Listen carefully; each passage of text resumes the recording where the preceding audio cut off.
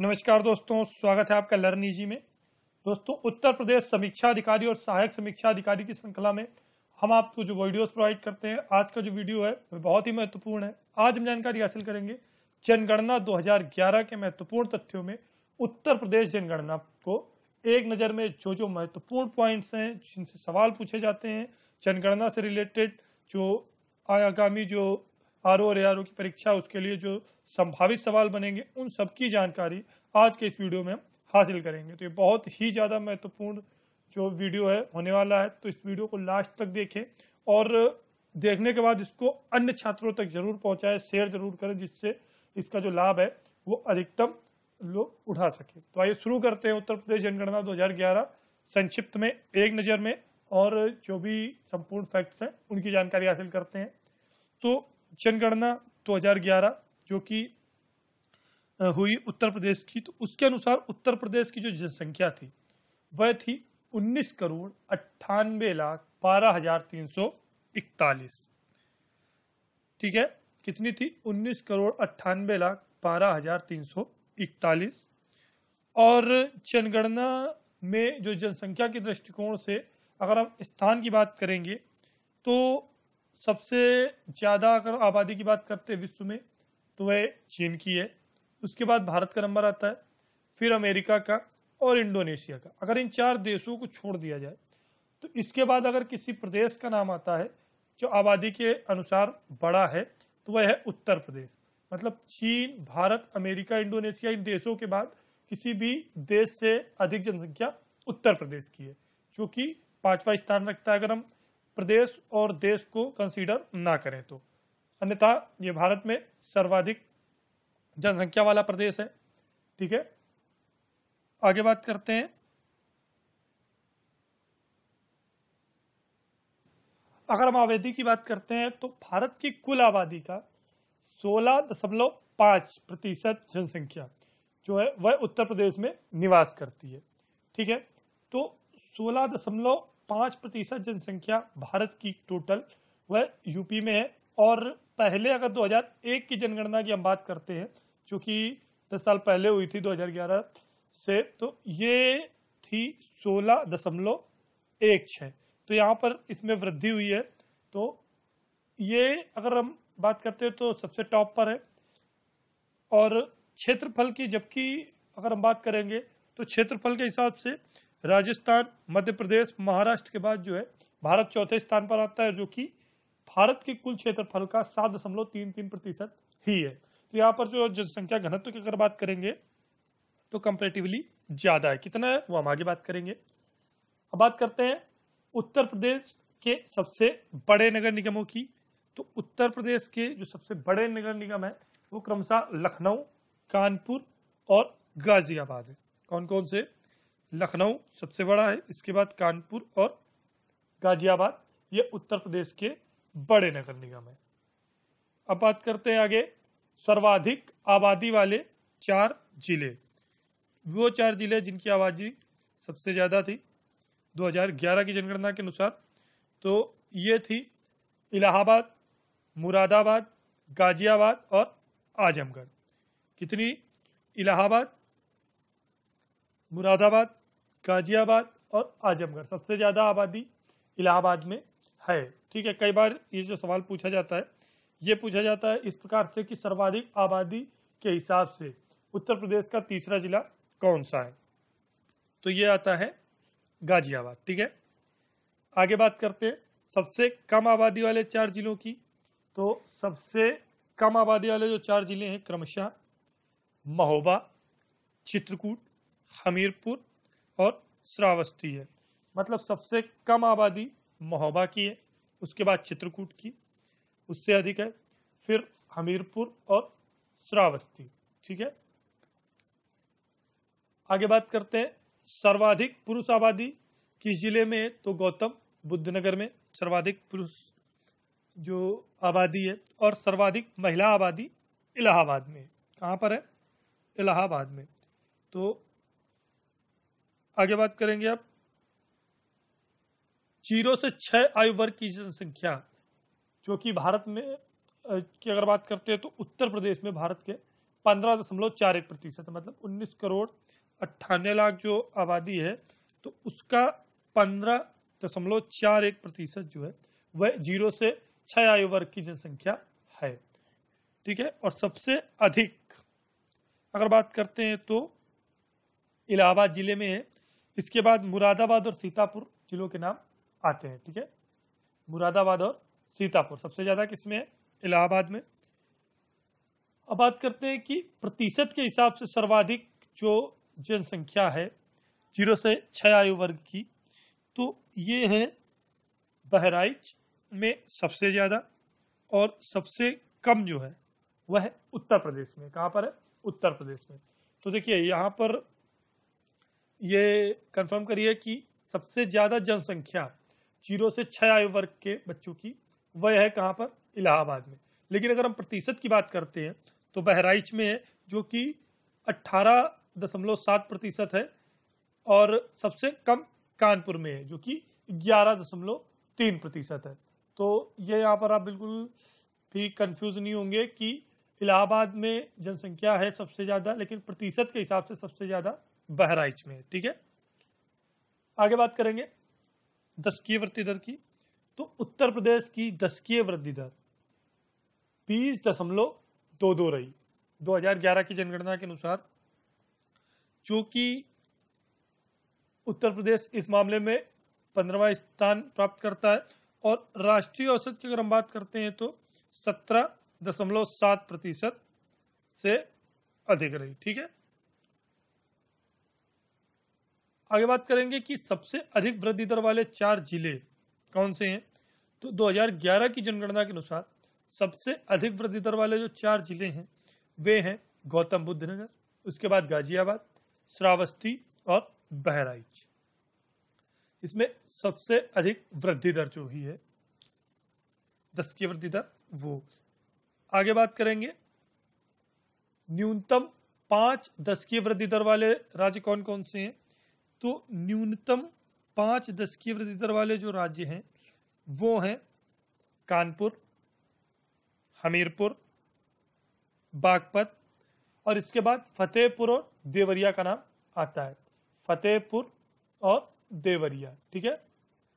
तो बहुधा top three पूछे जाते हैं मतलब न्यूनतम अगर तीसरा पूछा जाएगा दस की वृद्धि दर वाला जिला कौन सा है तो बागपत है।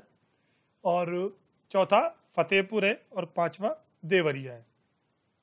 ठीक है? तो सबसे कम जो वृद्धि दर रही कानपुर में, वो नाइन पॉइंट नाइन रही। लगभग दस रही और इसके बाद ये जो क्रम है, वो बढ़ता गया। और सबसे अधिक जो कि गौतम बुद्ध नगर में थी, ये लगभग पचास प्रतिशत थी, फोर्टी नाइन परसेंट थी। तो ये यहाँ पर आप याद रखेंगे।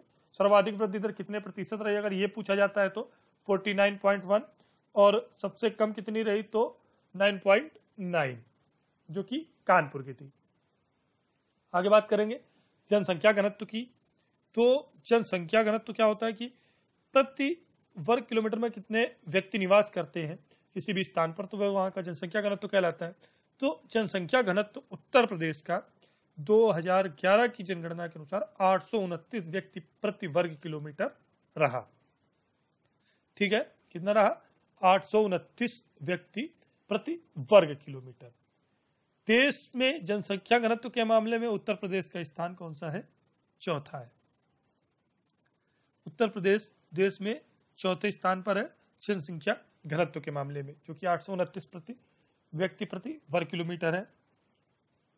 अगर हम शीर्ष ज़िले बात करते हैं, जनसंख्या घनत्व वाले, जिसमें सबसे अधिक रही तो वो थे गाजियाबाद, वाराणसी और लखनऊ।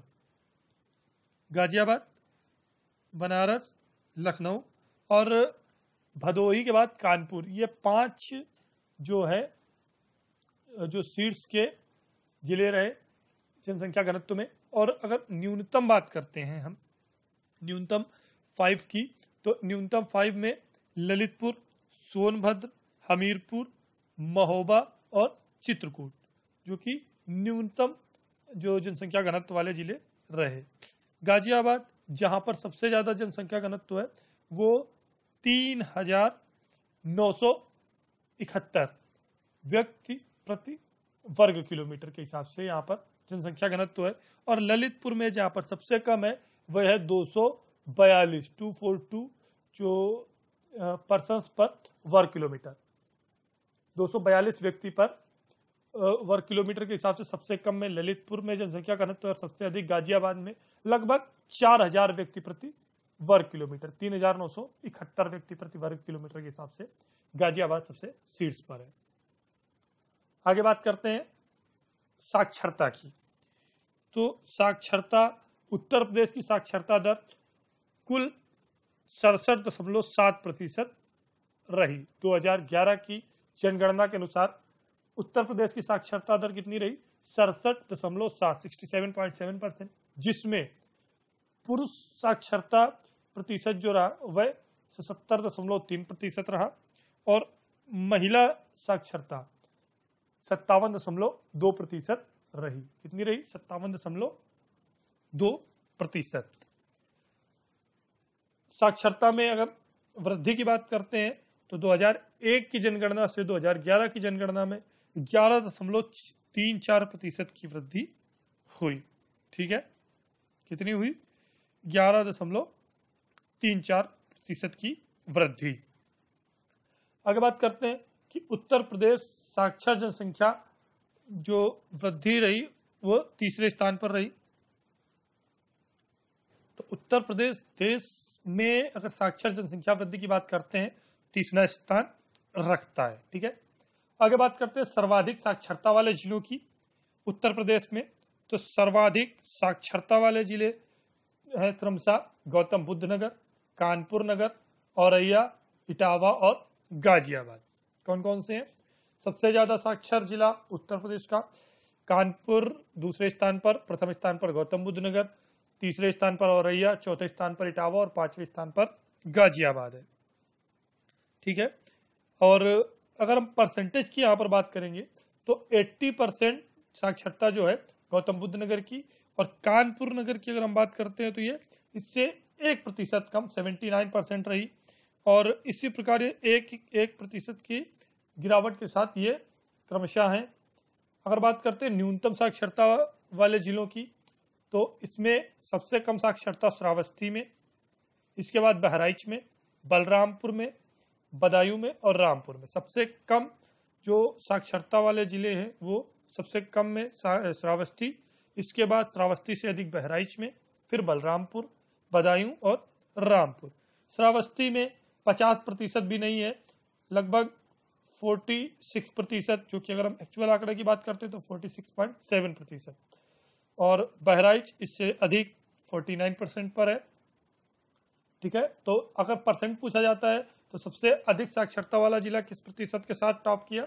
तो ये गौतम बुद्ध नगर रहा जो कि 80 परसेंट जिसने साक्षरता हासिल की 80.12 इसके बाद कानपुर नगर जिसने 79.65 परसेंट, औरैया ने 78 परसेंट, और इटावा ने भी 78 और गाजियाबाद ने भी 78 परसेंट साक्षरता दर प्राप्त की है।